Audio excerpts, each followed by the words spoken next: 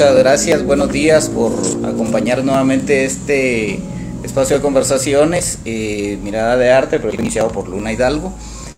Eh, y bueno, el día de hoy vamos a tener a un invitado nuevamente, como invitado al maestro Edwin Castro, eh, a quien vamos a saludar en un momento.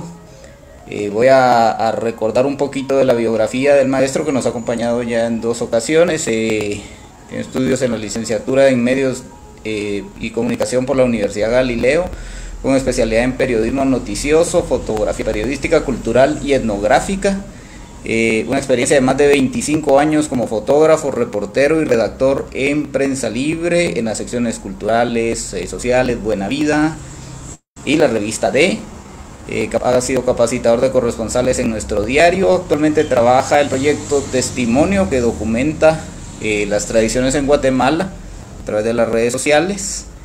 Eh, ha tenido exposiciones personales eh, en el vestíbulo de Linguat, colabora con el Museo Ixchel del traje indígena, ha estado invitado a diferentes países en Europa, Taiwán, como expositor, tiene 15 premios, alrededor de 15 premios de fotografía y tiene una enorme humildad y amabilidad que nos ha permitido poder eh, contar con él, a pesar del, enorme currículum que acabamos de compartir, eh, pues bueno, la, humildad y la sencillez del maestro para poder compartir con todos ustedes y con todos nosotros es muy valorable. Buenos días, Edwin, ¿cómo estás?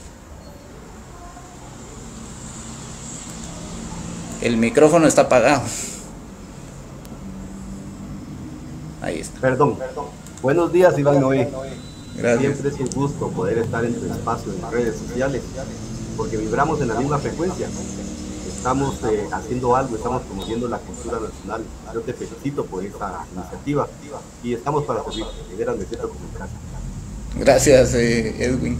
Eh, bueno, ayer, bueno, no, en estos días, bueno, el tema de hoy que vamos a hablar es testimonio, la Semana Santa en Guatemala en esta semana, eh, independientemente de la creencia religiosa, si la tienen las personas, eso es irrelevante en este tipo de situaciones, el trabajo del rescate de las tradiciones es sumamente importante. En esta semana, el miércoles, salió en la prensa libre un trabajo de, de maestro, por aquí está el nombre, no lo van a ver, pero ahí está es el, el pregón, que es como el, el, anuncio de, la, de, toda la, de todas las procesiones que hay en el que se van a dar. Y pues bueno, todas las fotografías, creo la mayoría de las fotografías son del maestro Edwin, que bueno, ahora vamos a, a presentar ahí algunas y él nos va a ir indicando cómo, cómo está la cuestión. Ah, también el domingo, mañana va a salir en la revista Domingo. Eh, un trabajo de, de maestro, ¿verdad, Edwin? Sí, muchas gracias. Hemos estado trabajando precisamente con prensa libre para preparar dos productos editoriales.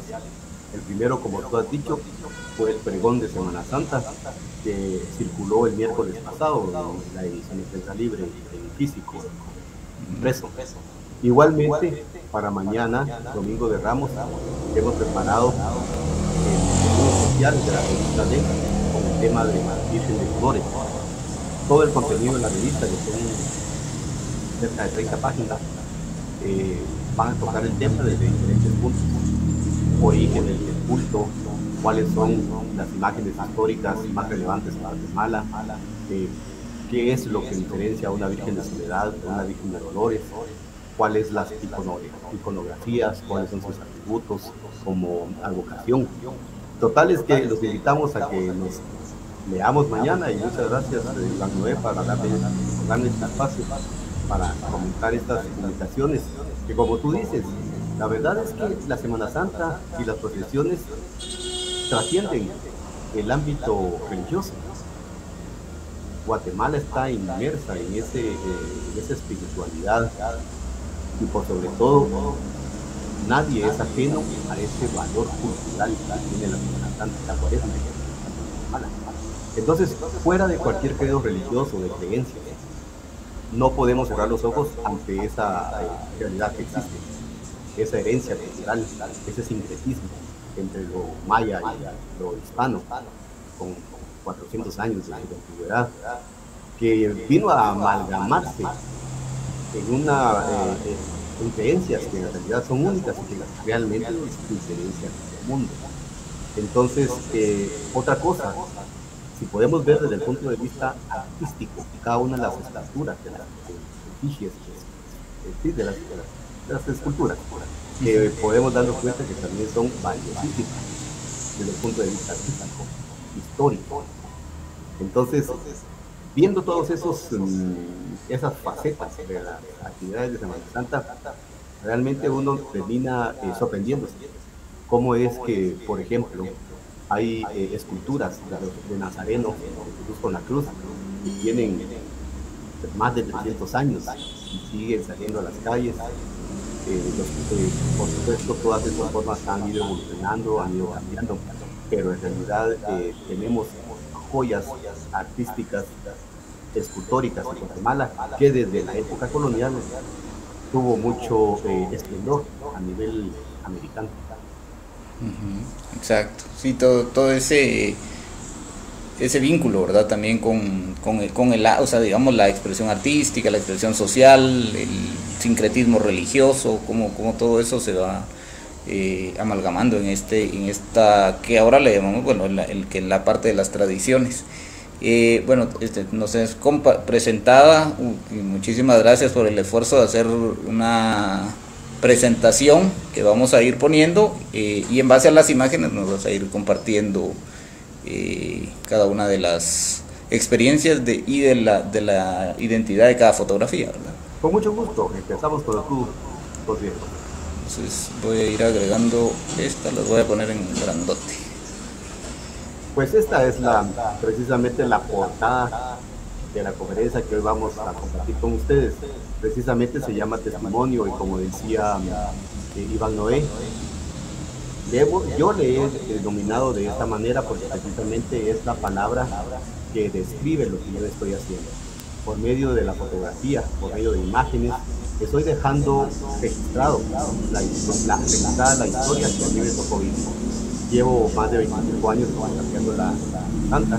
Empecé cuando la fotografía era totalmente análoga en negativos de 35 milímetros. Y eh, hasta ahora, en la, ya en la época en que la fotografía digital reina, es mucho más fácil. Y ustedes se han podido dar cuenta que también hay muchísimas personas que ya eh, toman fotografías y por supuesto, para tener un recuerdo de cuando estuvieron acompañando a un nazareno, de familiar y todo. Pero entonces, por eso es que testimonio lleva este título, porque precisamente queremos dejar eh, registro, evidencia de lo que a nosotros nos tocó vivir. Y como les decía, es una, son unos actos que van cambiando, que van variando conforme el, tiempo.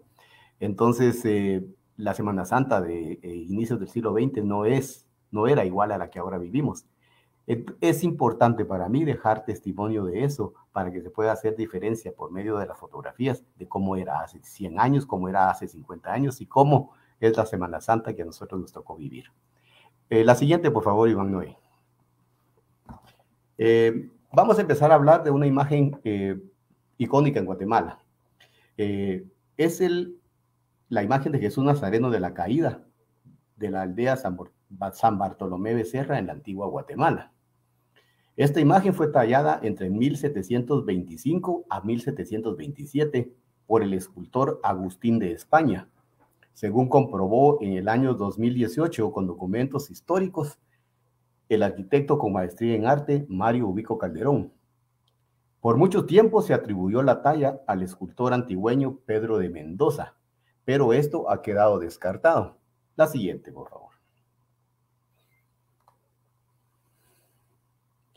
La aldea de San Bartolomé de Serra fue fundada por el, capitán español Bartolomé de Serra el 20 de marzo de 1528. Era un milperío que reunía a nativos de la etnia maya cachiquel, distante más o menos dos kilómetros de la ciudad colonial. La siguiente. Jesús de San Bartolo, como cariñosamente le llaman sus devotos, salió en procesión por primera vez en 1902. El recorrido por la finca Retana, en un cortejo organizado por los hermanos Jorge y Carlos Aguirre Mateu, según eh, cita el diario El Imparcial de 1959. La procesión salió a las 5 de la tarde y llegó al Cementerio General San Lázaro. Aquí vemos la procesión a su paso por la Catedral de la antigua Guatemala. La siguiente, por favor. La escultura muestra a Jesús que se apoya con su mano derecha para incorporarse después de caer arrodillado por el peso de la cruz. Esta escena evoca las tres caídas del Redentor mencionadas en el Via Crucis, aunque ninguna de ellas se menciona en los evangelios canónicos. La siguiente. El cuerpo de la imagen es totalmente tallado y encarnado. Esto significa que aparenta ser piel, a diferencia de otras esculturas que solo contienen encarnado en la cabeza, en la cara, en el pecho, los pies y las manos.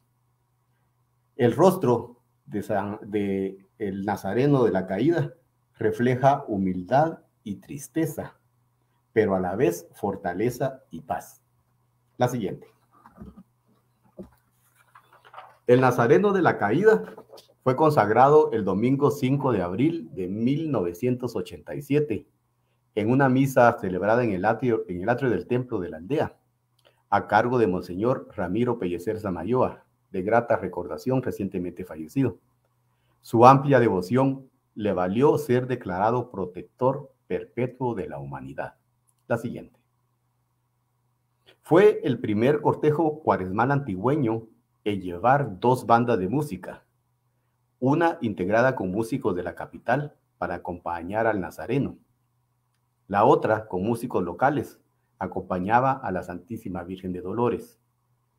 Fue en el año 2019 el último año en que Jesús de la Caída realizó su recorrido de 18 horas en sus andas procesionales de 90, de 90 cargadores por cada turno. Se calcula que el quinto domingo de Cuaresma, día en que se procesiona Jesús de la Caída, la ciudad de Antigua Guatemala congrega a más de un millón de personas. La siguiente. Veamos ahora aquí en la capital de Guatemala. Hablemos de Jesús Nazareno del Consuelo, del Templo de la Recolección, que precisamente en estos momentos anda recorriendo las calles de la zona 1 de la ciudad. Fue Fray Miguel Ángel Murcia, sacerdote franciscano español, quien nombró Jesús del Consuelo a esta imagen. Se sentía consolado al ver su mirada, expresaba el religioso, quien llegó a esa parroquia en 1952 y reorganizó la hermandad que se había fundado en 1955. La escultura de estilo neoclásico data del siglo XIX, mide 1.80 metros de estatura, se diferencia de otros nazarenos por portar un manto en el hombro, en el brazo izquierdo. La siguiente. La talla del nazareno se atribuye al escultor Juan Ganusa, quien también esculpió al nazareno de la justicia del Templo del Calvario, según el historiador Adoldo Rodas, en una investigación que publicó en el año 2000. Ambas imágenes, aún con diferencias en el encarnado, son similares en su estilo escultórico, época y detalles en su forma y en su estructura. La siguiente. El terremoto de 1917 destruyó las torres y bóvedas del Templo de la Recolección. Aunque Jesús del Consuelo no sufrió daños, posteriormente fue trasladado al taller del reconocido escultor Julio Dubois, quien se dice modificó sus rasgos originales y logró la dulzura en el rostro que ahora refleja este Nazareno. Siguiente. Jesús del Consuelo fue consagrado el 2 de marzo de 1956 durante una ceremonia íntima celebrada en el altar mayor de la recolección, oficiada por el obispo de San Marcos, Fray Celestino Fernández y Pérez. El nazareno conserva las cruces de consagración en las muñecas no en las manos, como es tradicional. La siguiente. Fray Miguel Murcia también es el autor de la marcha fúnebre titulada Jesús del Consuelo, que es la oficial de este cortejo profesional. Eh, eh, cortejo profesional, perdón. Esta obra musical posee letra compuesta por el periodista Mario Sandoval Figueroa, uno de los fundadores de Prensa Libre. La marcha se estrenó en 1961 durante la procesión de Via Crucis derogativa por la beatificación del hermano Pedro. Los versos los canta el coro de la hermandad minutos antes de levantar las andas del consuelo en su procesión de hoy, sábado anterior a Domingo de Ramos. La siguiente. Ahora veamos a la imagen de Jesús Niño de la Demanda, que se venera en la parroquia de la Merced. Nuestra Señora de las Mercedes es el nombre oficial. Es una imagen de un niño que lleva la cruz a cuestas. La imagen data del siglo XVII. Mide aproximadamente 40 centímetros de altura. En sus pequeñas manos y pies muestra las cruces que indican su consagración, de la cual se desconoce fecha y lugar la siguiente. El origen de las imágenes infantiles que representan la pasión de Cristo se atribuye a una antigua y popular creencia sobre un sueño de María que presagiaba los padecimientos de su Hijo Jesucristo. La siguiente. El nombre de la imagen se origina de tiempos de la colonia, cuando el niño Jesús era llevado a diversos eh, lugares de la Capitanía General de Guatemala con el propósito de demandar, es decir, recaudar dinero para la procesión del Viernes Santo de Jesús Nazareno del Templo de la Merced. En los años 30 del siglo XX, esta pequeña imagen presidió el Via Crucis que se rezaba los viernes de Cuaresma en el Templo de la Merced. La siguiente. El fundador de esta procesión fue don Julio, Julio Farfán, a quien tuve el honor de conocer. Incluso él me permitió fotografiar eh, varias veces eh, al, niñito de la demanda para que la fotografía apareciera en la cartulina, en el turno de, que portaban los niños que lo cargaban. Eh, don Julio, junto a un grupo de devotos, organizó el 2 de abril de 1955, por primera vez, esta procesión en la que los niños participaron vestidos de cucurucho. Don Julio es el que vemos en la parte derecha de la fotografía con su medalla con la correa roja. La siguiente, por favor. En el santuario arquidiocesano del Señor San José se venera la imagen de Jesús de los Milagros. El Nazareno fue donado en 1736 por don Lorenzo de Paz, habitante de la ciudad de Santiago de Guatemala.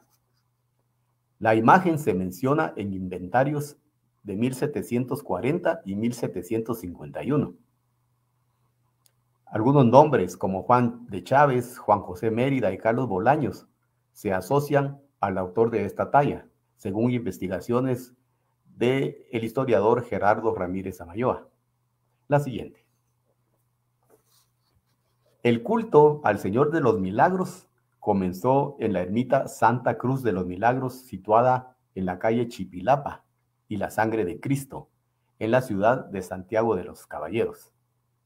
En 1775, la imagen quedó sin lugar al suprimirse la iglesia eh, de la Santa Cruz del Milagro, porque se trasladó a la urbe del Valle de la Ermita.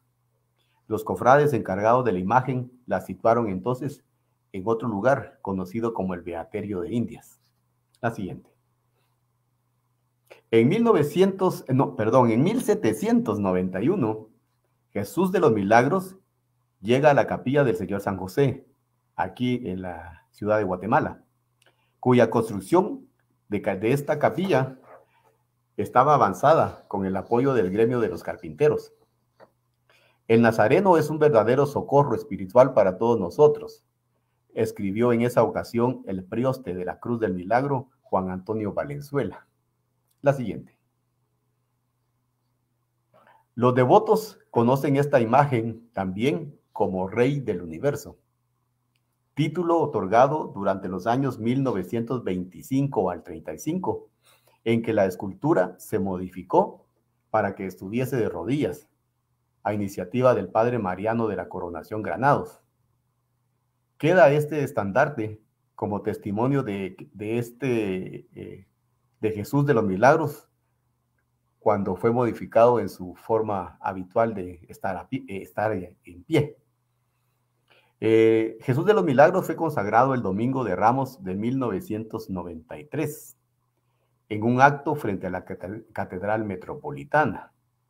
En noviembre de 1996 fue declarado protector perpetuo de la antigua Guatemala. La siguiente. Jesús Nazareno de las Tres Potencias, que se venera en la Santa Cruz del Milagro, parroquia vieja de la zona 6 de la capital. Fue esculpido por Alonso de la Paz y Toledo en la época del apogeo del barroco antigüeño hacia 1697. La imagen de notoria palidez en el rostro refleja gestos de agobio, fatiga y dolor. Destaca por las lágrimas en el rostro, detalle que no hay en otros nazarenos. Su nombre deriva de las piezas de plata que porta en la cabeza con forma de rayos o flamas de fuego representan cada una de las personas de la Santísima Trinidad, es decir, Dios Padre, Dios Hijo y Dios Espíritu Santo. Por eso esta imagen carece de resplandor. La siguiente.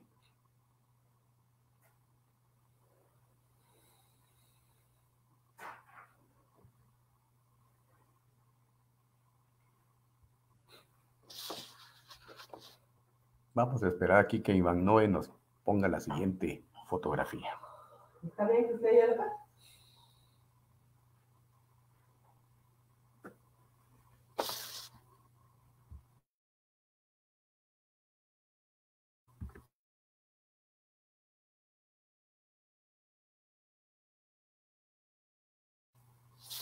Vamos a esperar que sigan pasando las, las diapositivas.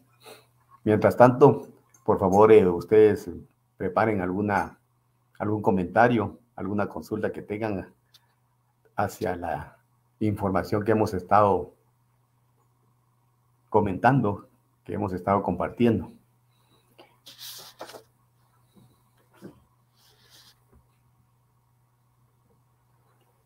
Esta Semana Santa, como hablábamos precisamente, es, eh, va a ser muy diferente a todas las que hemos vivido porque se van a dar situaciones o se van a dejar de dar situaciones que se daban.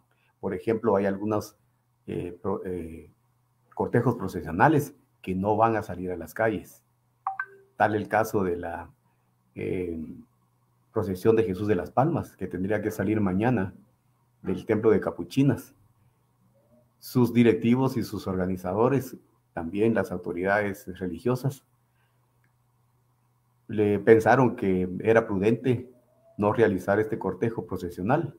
Así que Jesús de las Palmas solo va a recibir la veneración de sus, mm, eh, de sus devotos en, la, eh, en, el templo. se, piensa y se habla de que puede haber ahí alguna, algún tipo de homenaje acerca de, eh, de las otra procesión que sí sale mañana, que es Jesús de los Milagros, precisamente de las que ya está, hemos hablado, del templo de San José.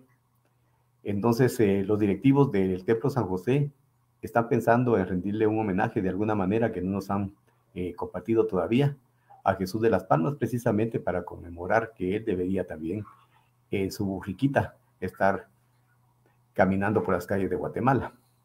Vamos a seguir viendo aquí, parece que ya Iván Noé pudo proyectar la siguiente fotografía. Entonces, precisamente. Entonces ahora veamos por favor la número 23. Gracias, gracias. Estábamos hablando precisamente de Jesús de las Tres Potencias, del templo de la parroquia vieja de la zona 6.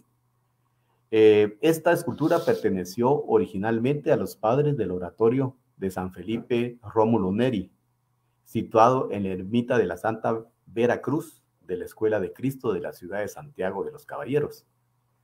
Llegó al Valle de Guatemala en 1779 En 1884, como consecuencia de la usurpación de los edificios religiosos promovida por el general Justo Rufino Barrios, esta imagen, otras esculturas y enseres de los religiosos neredianos fueron trasladados al templo de Santa Catalina.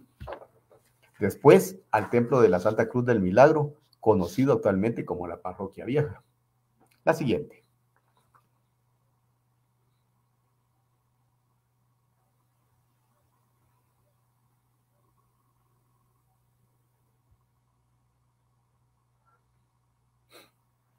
Seguimos hablando de Jesús Nazareno de las Tres Potencias. Esta imagen fue em, restaurada hace algunos años para recobrar todo su esplendor. En las fotografías que hemos podido eh, registrar en años anteriores, digamos del 2000, 2010, se miraba que precisamente el encarnado de la imagen estaba muy deteriorado, estaba muy oscuro como consecuencia del humo de las velas, del smog y pues, de la suciedad, del polvo. Entonces, eh, regularmente eh, lucía muy moreno. Incluso el encarnado de las manos casi había desaparecido y se miraban las manos casi como del color madera antigua, oscura. Eh, el trabajo de los especialistas del Instituto de el IDAE, ¿verdad? En su taller de restauración, dirigido por Luis Muñoz, hicieron un trabajo de restauración magnífico y, volvieron a su, color eh, natural, a Jesús de las tres potencias. Ahora ya luce nuevamente con un encarnado color piel que deja ver más los detalles que tiene el rostro. Como platicábamos, uno de ellos son las lágrimas que ruedan de su, de su eh, rostro. Eh, se ve más claramente el gesto que lleva de un hombre cansado, pero que a la vez eh, transmite consuelo, transmite amor, transmite esperanza. Se dice que, mm, eh, según los documentos históricos, que Jesús de las tres potencias llegó después a la, eh, iglesia de la zona 6. su asentamiento fue posterior a la Virgen de Dolores que procesiona con él el lunes santo. Eh, la, Virgen de Dolores, que actualmente está en, la zona 6, fue eh, hecha a solicitud precisamente de, los eh, grupos directivos de esa iglesia y, recibió veneración precisamente antes de que llegara Jesús de las Tres Potencias. Desde entonces, podríamos estar hablando, eh, por aquí tengo el dato, de 1896. La Virgen acompaña a Jesús de las Tres Potencias en su procesión de lunes santo. El cortejo de las Tres Potencias, como les decía, ha salido a las calles desde 1896. A Jesús de las Tres Potencias también se le ha conocido como Jesús del Oratorio, Jesús de la Escuela de Cristo, y Jesús de los nobles, pues se dice que eran miembros de la aristocracia de la época, quienes lo llevaban en procesión. El Nazareno fue consagrado el 7 de marzo del año 2017, junto a la Dolorosa, en una ceremonia oficiada en el altar del templo de la zona 6, presidida por el arzobispo metropolitano Óscar Julio Bian, que también ya está fallecido. Jesús de las Tres Potencias sale en procesión el lunes santo. Vamos a hablar, mientras eh, Iván Noé nos puede eh, proyectar las demás fotografías, les voy, a comentar y compartir algunos datos precisamente de una de las, bueno, de la imagen de más veneración.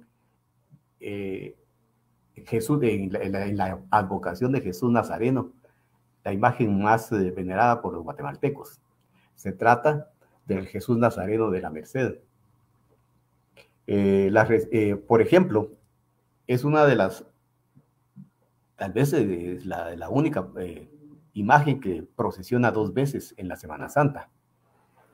Em, en la, la, primera de ellas es conocida como la reseña, que sale a las calles del Centro Histórico de Guatemala en la mañana del martes santo.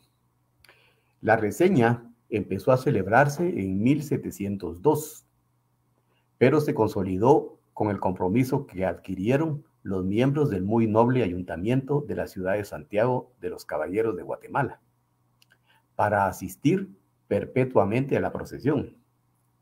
El 28 de febrero de 1721 declararon la imagen de Jesús de la Merced, protector y abogado de la ciudad de Guatemala, contra los terremotos, pestes, fuego, agua y demás calamidades temporales y espirituales que puedan sobrevenir, según cita el documento.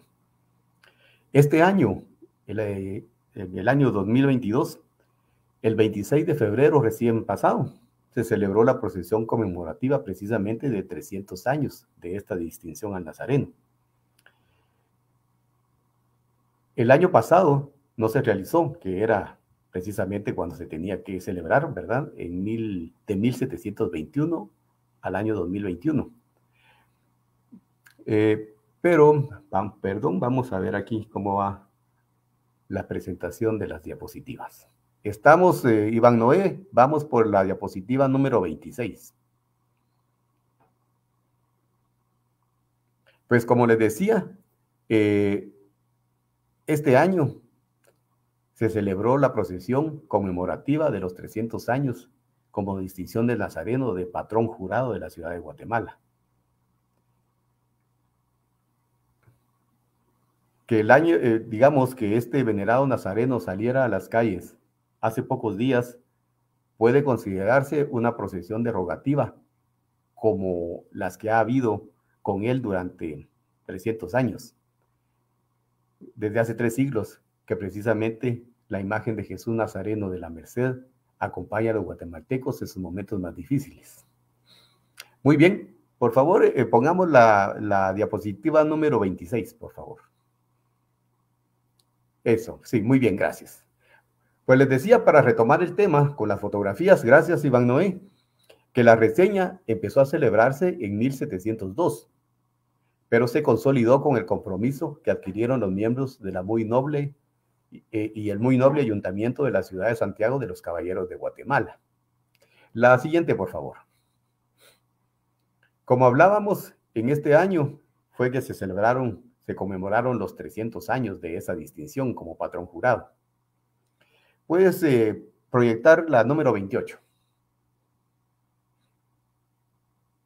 Bueno, ahí dejémoslo, ahí dejémoslo. Eso es importante. Quiero compartirles esta fotografía porque precisamente es la que eh, el decorado de las andas que lució Jesús de la Merced en febrero de este año, en la procesión conmemorativa de los 300 años, declarado patrón jurado de la ciudad de Guatemala. Fue una procesión, diríamos, la primera que salió eh, oficial, eh, no oficialmente, sino que formalmente después de toda la suspensión de las actividades del COVID, por el COVID. Aquí está pasando frente al templo de San José en la zona 1 de Guatemala. La siguiente, por favor. Desde 1717, Jesús de la Merced ha acompañado a los guatemaltecos en procesiones para rogar a Dios por el cese de de las epidemias, o de temblores, o de erupciones de volcanes, plagas de langostas. Los guatemaltecos han pedido y han sentido consuelo sus calamidades, eh, procesionando a Jesús eh, de la Merced. También ha habido procesiones derogativas por la paz de Guatemala. Por ejemplo, en este caso se puede mencionar la de 1856, a petición del presidente Rafael Carrera. La siguiente. La función de la reseña tenía como propósito hacer revisar y exhibir los enseres que el nazareno portaría en su procesión de Viernes Santo. Por ejemplo, la aureola y corona de espina de plata sobredorada con piedras preciosas, túnica bordada con hilos de oro, cíngulo, la cruz, entre otros enseres, explica el historiador Walter Gutiérrez. La siguiente. La devoción a Jesús de la Merced trasciende el barrio. Esperemos que un momento para ver si la diapositiva cambia. Si no, sigamos compartiendo. Les decía de que la devoción a Jesús de la Merced trasciende el barrio. El recordado antropólogo Celso Lara Figueroa citaba que después del Señor de Esquipulas, Jesús de la Merced era el más venerado entre los guatemaltecos. Para ganar un poco de tiempo mientras se siguen proyectando las diapositivas, vamos ahora a compartir algunos datos de Jesús Nazareno del Rescate del Templo de Santa Teresa de la Zona 1.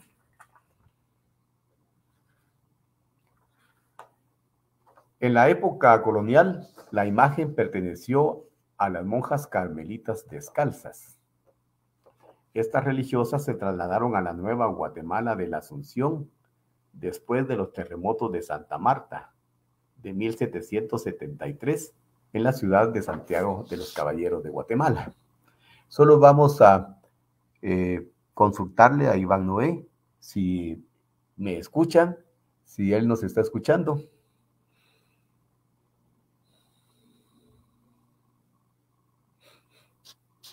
Si alguno de los mm, amigos que nos están acompañando pueden reportarse para que nosotros nos podamos dar cuenta cómo está llegando la señal a su computadora o a su teléfono, por favor, agradecemos. Yo aquí no, ah, en este momento no tengo eh, retorno de la señal y quisiera saber si se está viendo bien, si las diapositivas, si esta diapositiva se mira en la pantalla de ustedes, si me escuchan a mí, si escuchan a Iván Noé.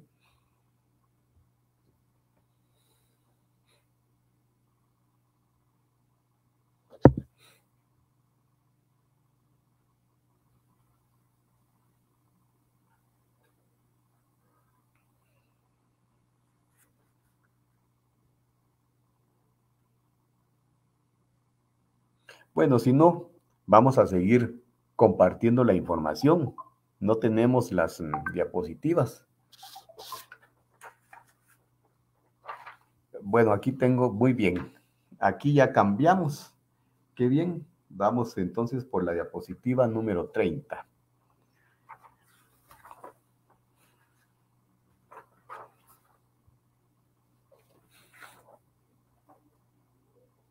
Pongamos la diapositiva número 31, por favor. Ya habíamos hablado. Eso, muchas gracias. También agradecemos el reporte de nuestra amiga Sonia Alfaro. Qué gusto saludarte, saber que estás con nosotros, Sonia. Muchas gracias. Bueno, entonces sigamos compartiendo datos de Jesús de Santa Teresa. Eh, en la época colonial, la imagen perteneció a las monjas carmelitas descalzas. Estas religiosas se trasladaron a la Nueva Guatemala de la Asunción después de los terremotos de Santa Marta de 1773 en la ciudad de Santiago de los Caballeros de Guatemala. La siguiente. La imagen data del siglo XVII, la imagen de Jesús Nazareno de Santa Teresa, atribuido a Mateo de Zúñiga, aunque no ha sido comprobado. Esta imagen tiene parecido con Jesús de la Merced. Su nombre deriva de que las monjas empeñaban la imagen para conseguir dinero y pagar deudas adquiridas por cubrir necesidades de subsistencia y obras de caridad. Familias devotos y fieles rescataban la imagen, pagando el empeño y la devolvían al templo. La siguiente, por favor. Nada se sabe de la procesión de este, de este nazareno durante el siglo XIX. En 1956, don Osvaldo Aquino reinició el cortejo procesional y desde entonces no ha dejado de salir.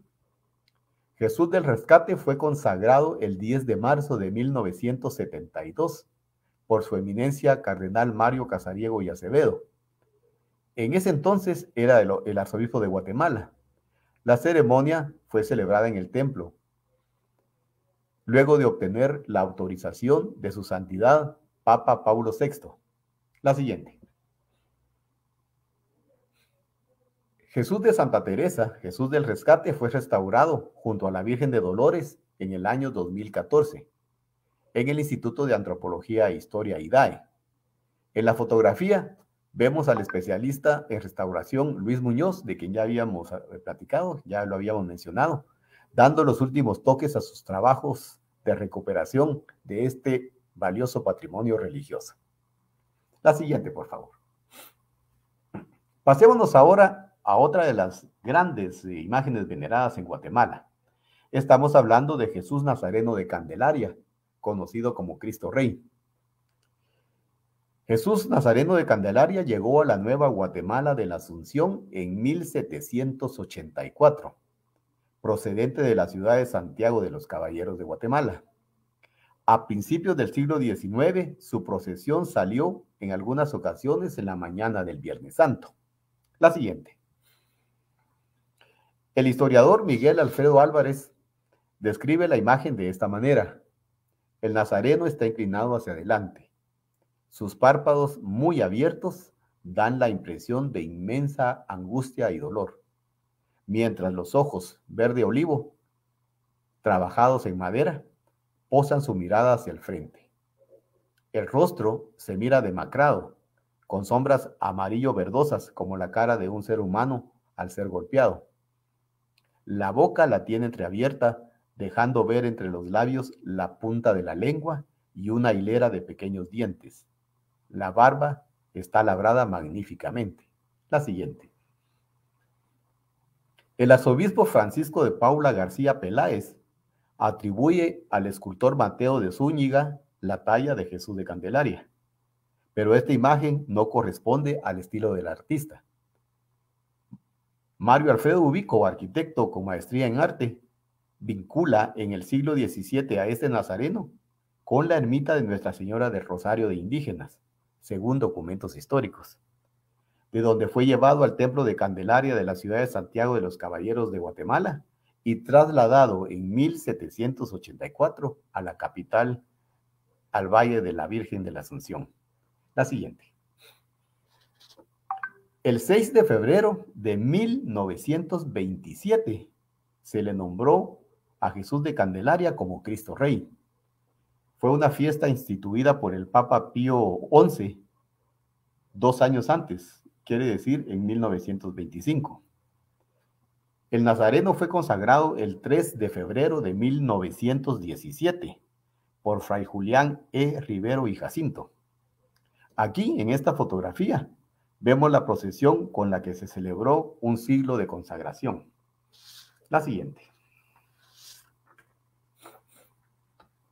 Ahora nos pasamos para el Viernes Santo, aquí en la capital de Guatemala, la procesión de Jesús Nazareno de la Merced.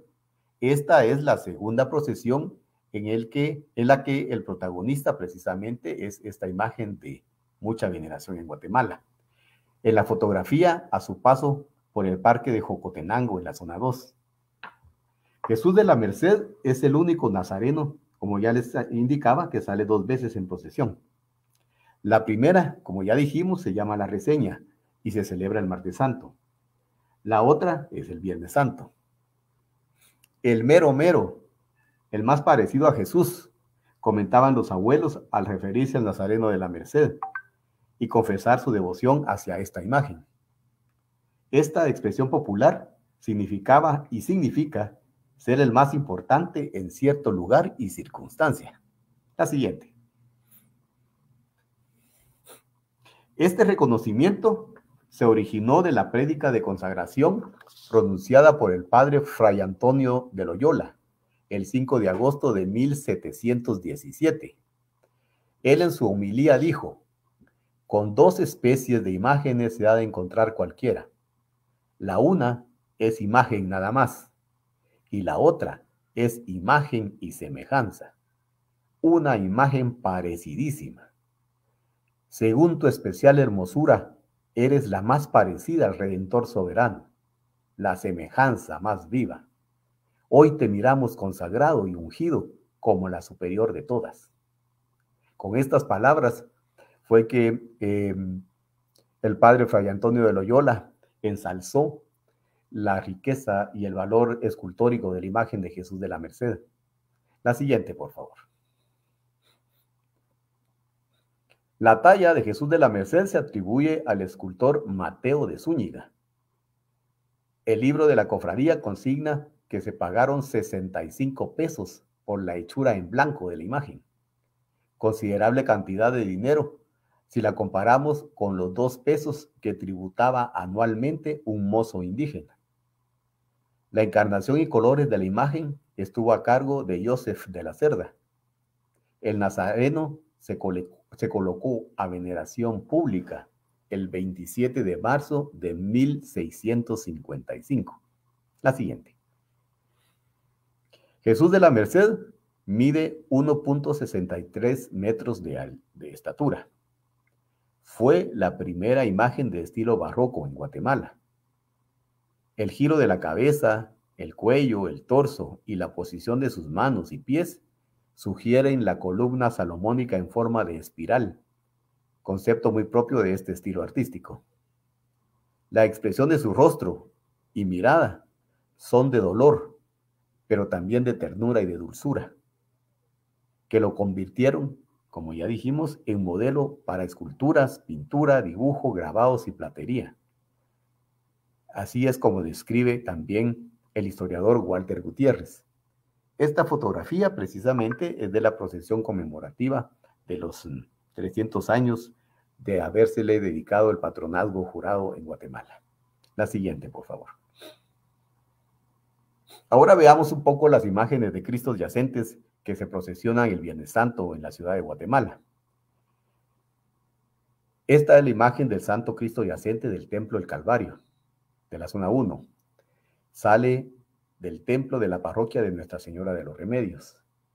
Como ustedes saben, esta procesión es considerada la más grande del mundo y la que es llevada en hombros de más cargadores en cada cuadra, que llegan a 140 personas en cada 100 metros, en cada turno. Se atribuye al escultor Pedro de Mendoza la talla de la imagen del Santo Sepulcro, como se le llamaba en la época colonial, hacia 1657. El investigador Mario Alfredo Ubico indica que este artista también esculpió al crucificado del Templo del Calvario de la antigua Guatemala, por medio de un análisis comparativo realizado en el año 2012 a las imágenes. La siguiente. Ubico describe al yacente de esta manera. Es una talla de tamaño natural, bien proporcionada y con notables detalles escultóricos que la hacen única. Aunque se menciona que en 1925 le fue intervenido el rostro, esto no es un obstáculo para establecer similitud estilística con el crucificado que actualmente se encuentra en el templo del Calvario antigüeño. La siguiente.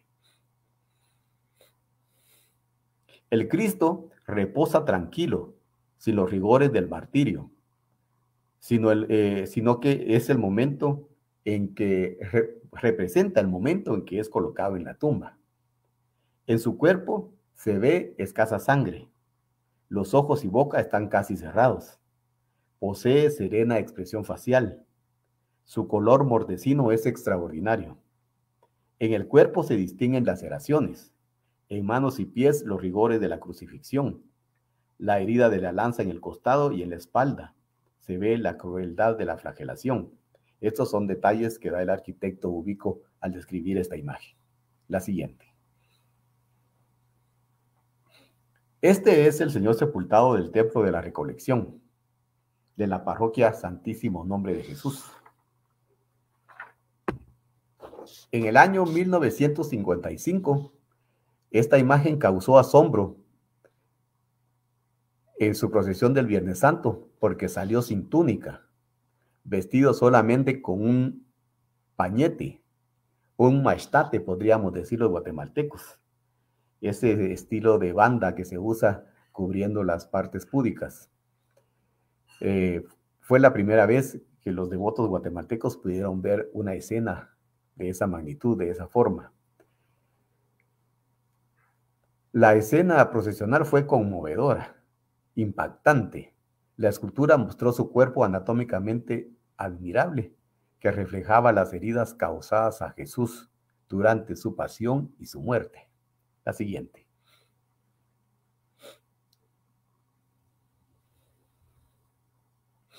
Esta fue una de las varias innovaciones realizadas por Fray Miguel Murcia, franciscano español que llegó a revitalizar la hermandad y los rituales de la Semana Santa en el Templo de la Recolección.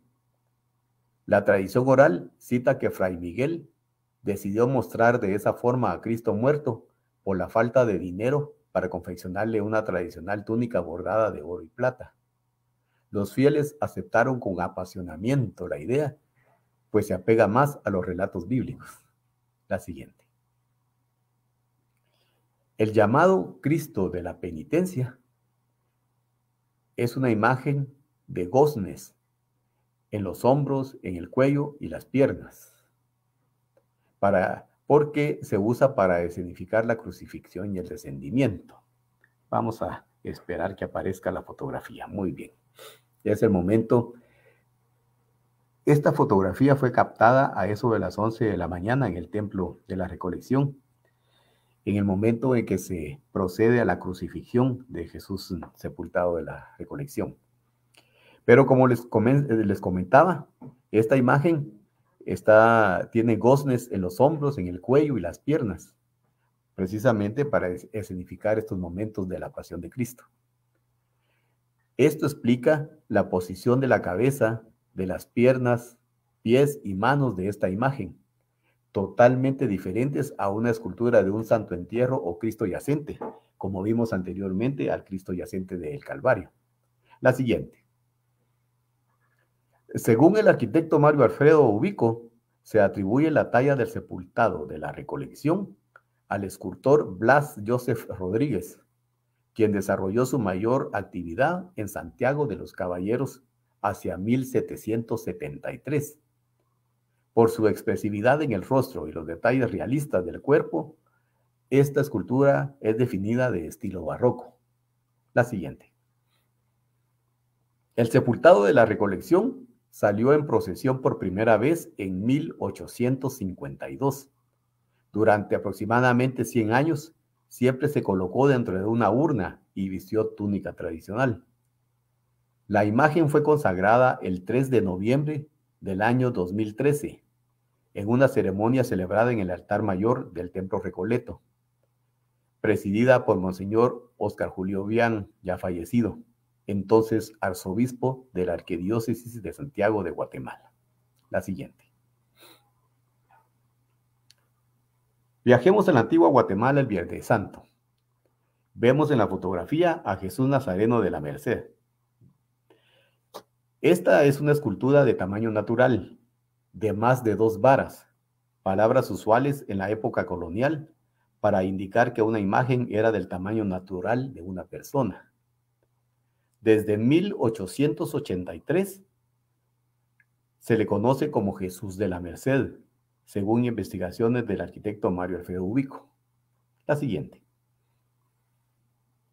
Explica Ubico. El Cristo es ejemplo de una obra de la segunda mitad del siglo XVII Presenta color moreno, con fino acabado facial y detallada barba y bigote. De mirada penetrante. Es notorio que el encarnador plasmó una ligera alteración de la mirada del Cristo que en cierto ángulo de visión pareciera no igual para los dos ojos. La mirada denota una expresión de compasión hacia los que lo observan.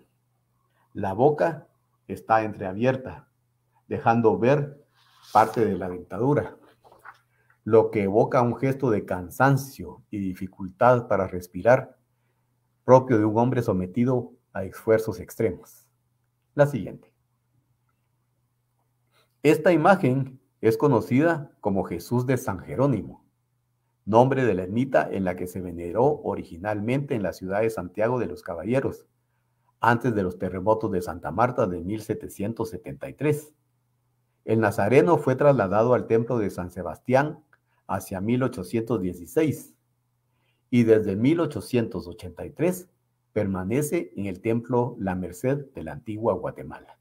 La siguiente. En esta fotografía, la procesión de Jesús Nazareno de la Merced recorre el Viernes Santo la calle ancha de los Herreros, en Antigua Guatemala. Pasa sobre la tradicional alfombra elaborada por la familia Montiel, una de las escenas más conocidas de la Semana Santa guatemalteca a nivel mundial. La siguiente. Vemos aquí a Jesús sepultado del santuario del apóstol San Felipe, conocido como el Señor de San Felipe.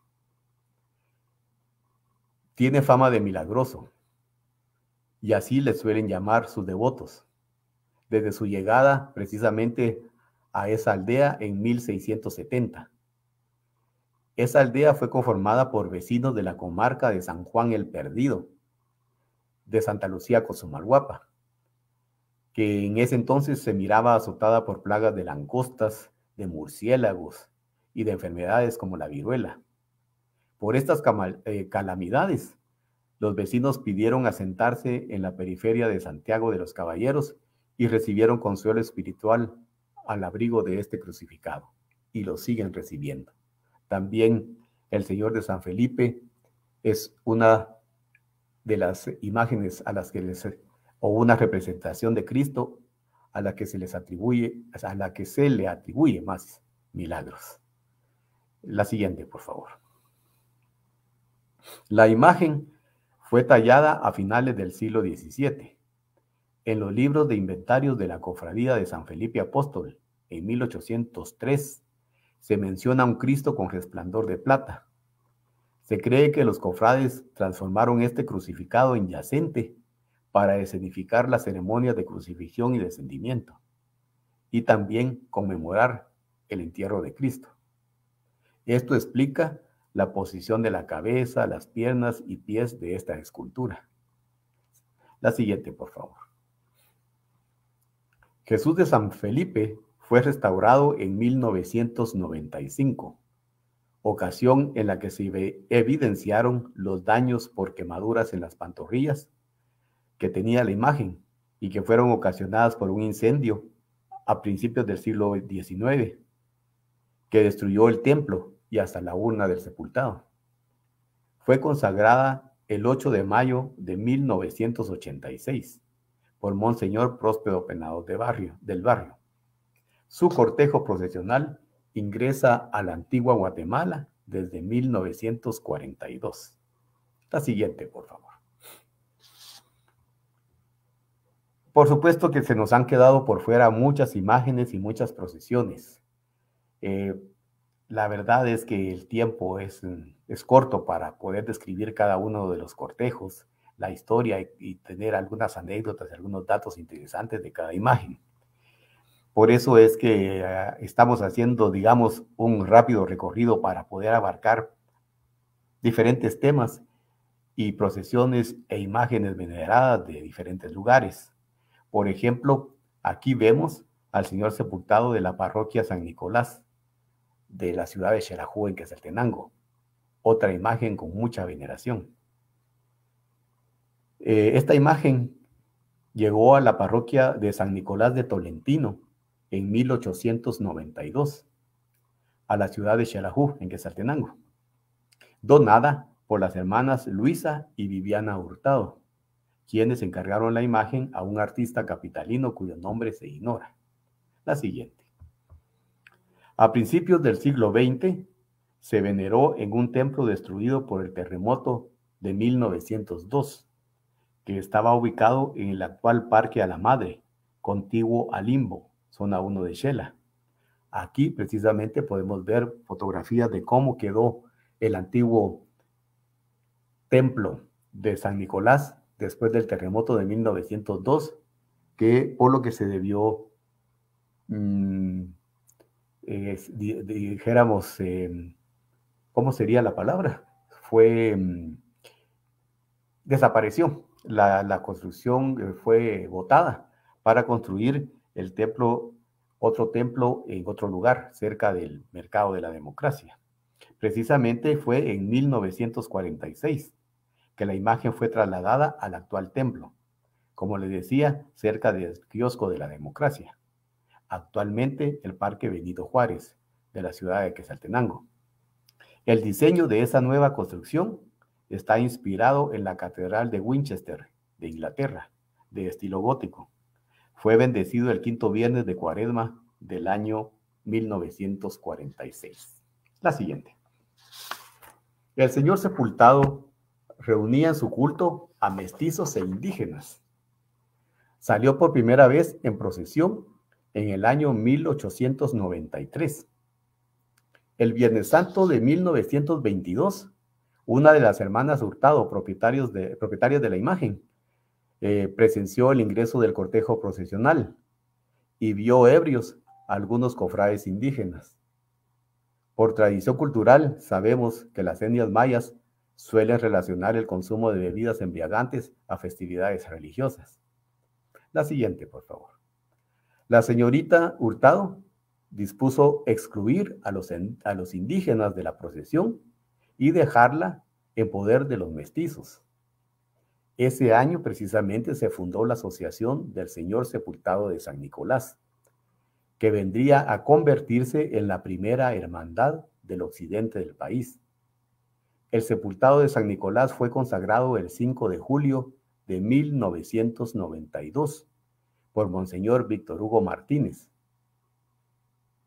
La belleza de la imagen inspiró al compositor Víctor Guerrero a escribirle la marcha oficial fúnebre de eh, título San Nicolás. La siguiente, por favor. Pero las diferencias técnicas han sido superadas. Así lo demuestra la participación de cofrades de San Juan Zacatepeques, Guatemala, en la procesión de velación del sepultado de San Nicolás en noviembre del 2019.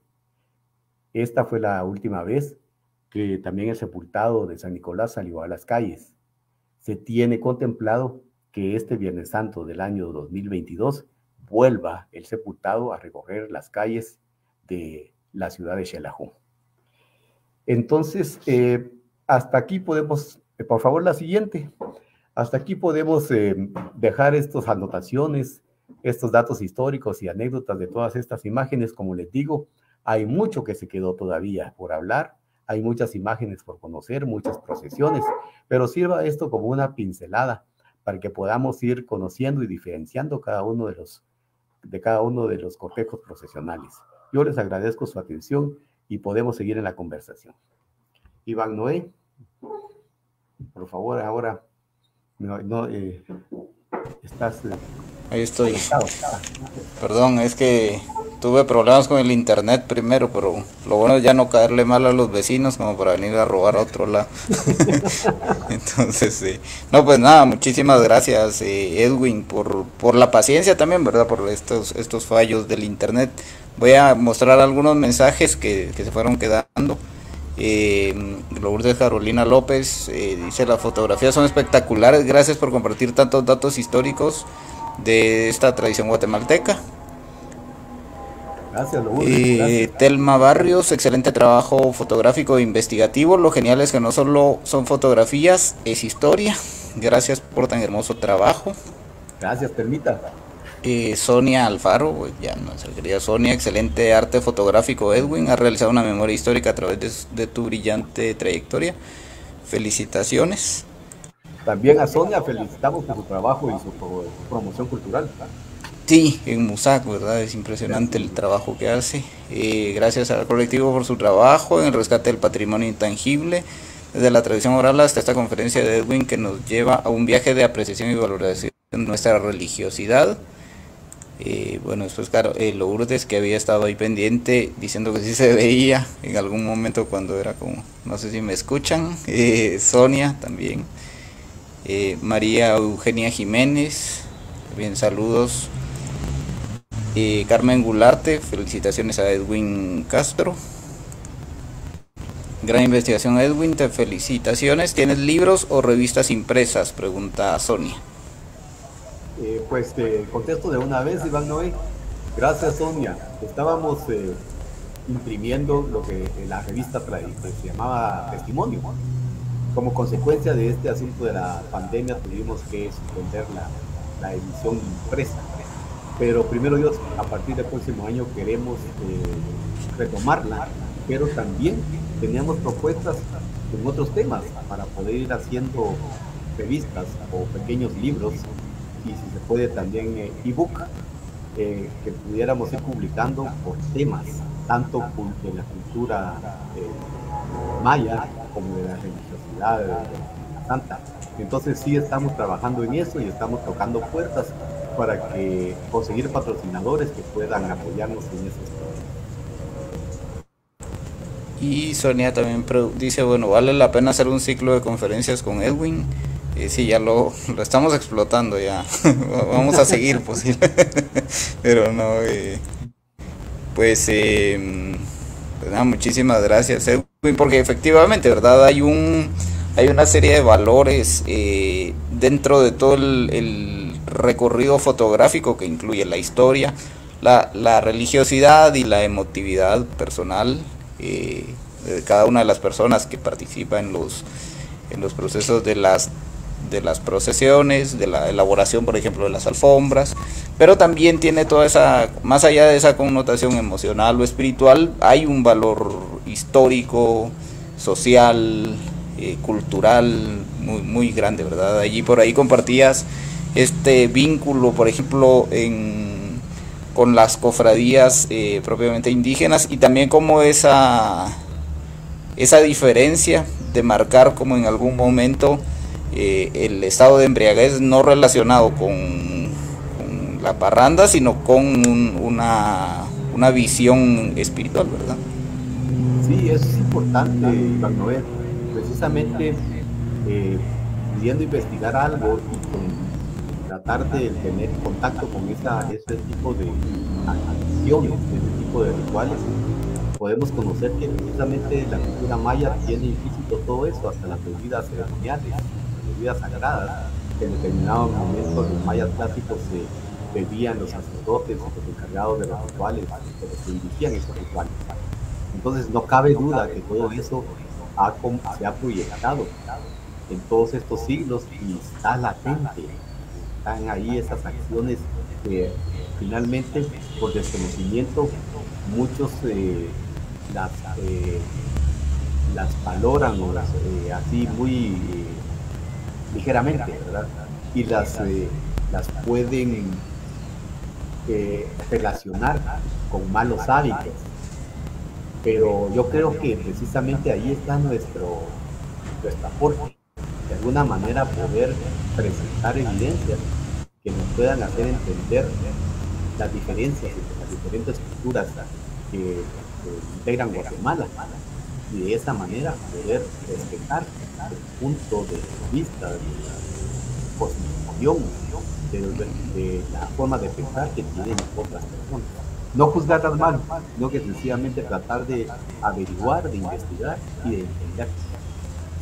Exacto, exacto. Y, y bueno, y, y ahí reviste mucha importancia todo este recorrido testimonial eh, que, has, que has ido recolectando, ¿verdad? Todo, todos estos testimonios eh, visuales que, que, bueno, luego nos compartís también como toda una, todo un conocimiento, ¿verdad? Por eso alguna parte de la, de la biografía eh, resaltaba yo como este, este vínculo que también luego te das con las cofradías, con, con, las organizaciones, porque más allá de la imagen propiamente, te vas vinculando directamente con cada uno de los, de los procesos. Y eso eh, te ayuda a conocer, y como hablábamos la otra, otra vez, eh, solo el que conoce ama y el que ama respeta. Entonces, eh, precisamente con estos rituales de, la cultura maya, cuando tú los ves, los empezamos a entender. Entonces los valoramos en, su justa dimensión. Por ejemplo, un ritual muy repetido en las cofradías es el ritual de compartir la bebida sagrada que ahora se volvió el aguardiente en siglos pasados con los mayas clásicos no era así, ahora es aguardiente. Entonces el hecho de que los agricultores lleguen a presentarse ante el altar del santo patrón o el altar ahora para la Santa y esparzan eh, una cantidad de aguardiente en el, suelo a los pies del altar y le pasan la mitad, digamos, del trago que van a beber y el otro medio trago piden autorización para poderlo beber delante del santo patrón, que es una, la verdad, la verdad más sagrada. Ese, ese vínculo, ese deseo de compartir y de como te dijera yo, de que simboliza este vínculo que tiene con la madre tierra, que en el momento de esparcir el aguardiente en el suelo, que están haciendo, porque me atrevo a comentarte estas cosas porque preguntándole a las personas por qué lo hacen, esa es la explicación que ellos están. El, el trago lo quieren compartir con la madre tierra, la madre está dando el sustento, el alimento, el cultivo. Entonces ese, ese, es un acto sagrado, ritual, que se hace con muchísima devoción, solemnidad y lleno de fe. Entonces tú ves que los algunos altares de la cofradía, tú entras, donde está el altar principal y donde está el, santo patrón, y vas a sentir esa mezcla de olores de pino, de flores, de aguardiente, la vela que la están quemando, todos esos olores característicos cargan la electricidad y también en el puente en el momento de mucho misticismo. Exacto, sí, sí, sí. Sí, por ahí nos, nos iremos pegando para el Corpus Christi de... Ah, de cualquier parte, mira, el Corpus Christi es una de las fiestas más celebradas en toda Guatemala. Exacto. Sí, y tiene toda, todo este sincretismo también, ¿verdad? Muy, muy marcado. Exactamente, podemos estar hablando, tenemos que hacer una, una investigación allá. Imagínate ahora para el miércoles santo, también se celebra el ritual de Pilar Mama en Santiago Atitlán, que es una deidad prehispánica de los sutiles. Y esta imagen, que es una especie como de talla en madera, con una máscara de madera también, tradicionalmente acompaña la imagen de Jesús eh, sepultado en su profesión del Viernes Santo. Entonces ahí mira ese sincretismo, esas, esas creencias diferentes. Por ejemplo, es un eh, acto especialísimo, es un espectáculo ver cómo eh, tradicionalmente todos los agricultores van a ofrecer mejores recursos al altar de Rilak Mamba, que es la deidad del abuelo, el abuelo para él. Entonces, tradicionalmente ahora ya no se usan, pero, afortunadamente los devotos todavía guardan esa, eh, eh, esa forma de dar la ofrenda. Llevan cacastes, esas estructuras de madera que se colocan a la espalda y que las cargan por medio de un mecapal. Entonces, allí van eh, acomodando las mejores frutas, las mejores flores, para llevarlas como ofrenda ante el altar de, de Esto sucede el miércoles santo en Santiago Atitlán y es una ceremonia maravillosa, como te digo, muy mística, llena de fervor y todas las personas que participan, que celebran ese momento, están imbuidas ahí de ese sentimiento, de ese misticismo. La verdad, mira, Guatemala, en cada pueblo, en cada lugar, tiene creencias, tradiciones fantásticas, admirables. Exacto, y ahí la, la importancia de tu trabajo, eh, porque por ejemplo en este espacio, bueno, eh, también mandar un saludo a, Juan Ramírez en El Salvador, eh, que su, su, abuelo y sus papás siempre vienen para Semana Santa y ahora estaban allí pendientes.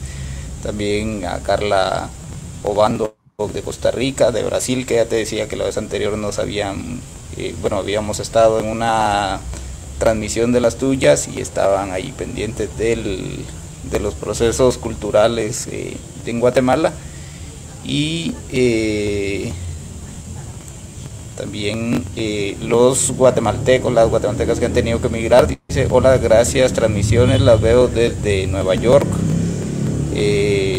doña Alice, Alicia Chunchun, felicitaciones. Gracias, que Dios lo bendiga a Edwin, Eh, Alicia pues está viendo desde Nueva York esta transmisión.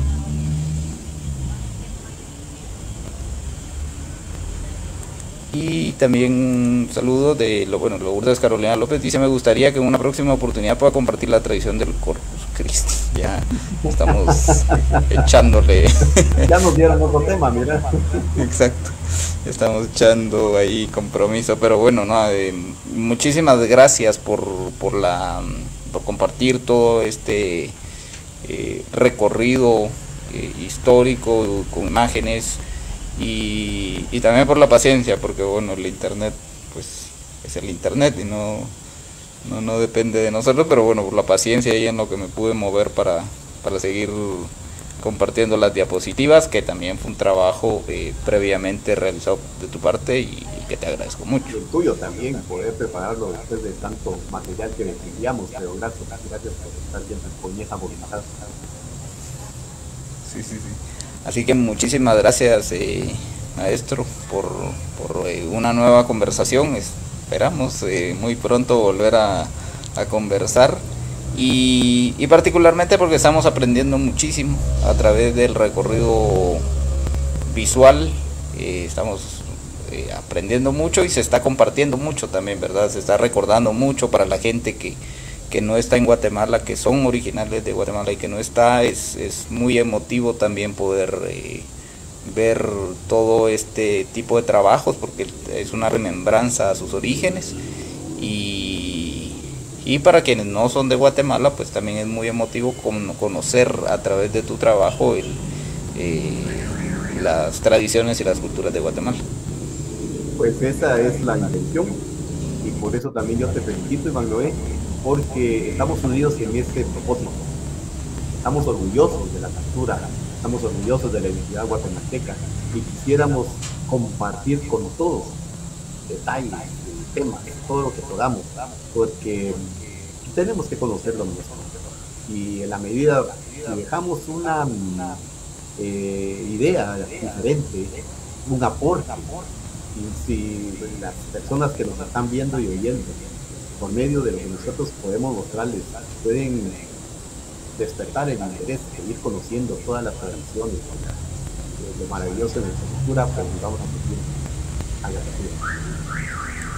Gracias. Eh, bueno, Lisa Chunchun, que había escrito desde Nueva York, dice, eh, no, por no escribir bien porque voy en el carro, pero... pero feliz... felicidades para todos en Guatemala, un abrazo. Eh, Sonia Alfaro ya sugiere otro tema, dice las danzas ah, tradicionales de, Guate, de Guatemala. No, Sonia es una especialista en las danzas tradicionales, ella debería darnos la conferencia. Exacto, exacto, sí, Sonia es eh, impresionante. Muchísimos, eh, muchísimas gracias Sonia, abrazos Edwin e Ivanoe, gran aprendizaje, gracias por todo el esfuerzo de promocionar la vasta cultura de Guatemala.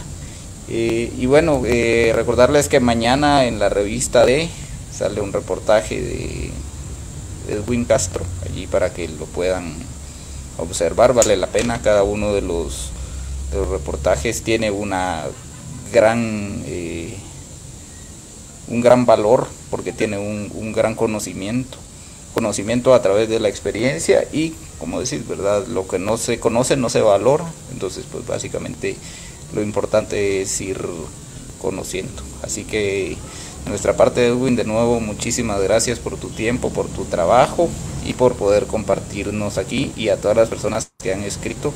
Eh, muchísimos saludos a, a, El Salvador, Costa Rica, Nueva York, eh, Brasil y a todas las personas que nos han estado observando y que nos observarán aquí en Guatemala. Pues un gusto, siempre la verdad es muy agradado de compartir contigo, Iván Noé, también con todos los amigos que nos escriben, que nos oyen, que nos ven. Pues nos vemos en una próxima, que este descanso de la Semana Santa sea regocijantemente espiritual y que nos dé la oportunidad de practicar nuestras valiosas tradiciones. Un abrazo para todos y especialmente para ti, Iván Noé. Muchas gracias Edwin y bueno, las personas que disfruten de la Semana Santa, de las procesiones, de la playa, de lo que disfruten, pues con cuidado, con distanciamiento para evitar alguna cuestión ahí de salud. Eh, así que muchísimas gracias Edwin, muchísimas gracias por eh, estar acompañándonos y nos vemos muy pronto.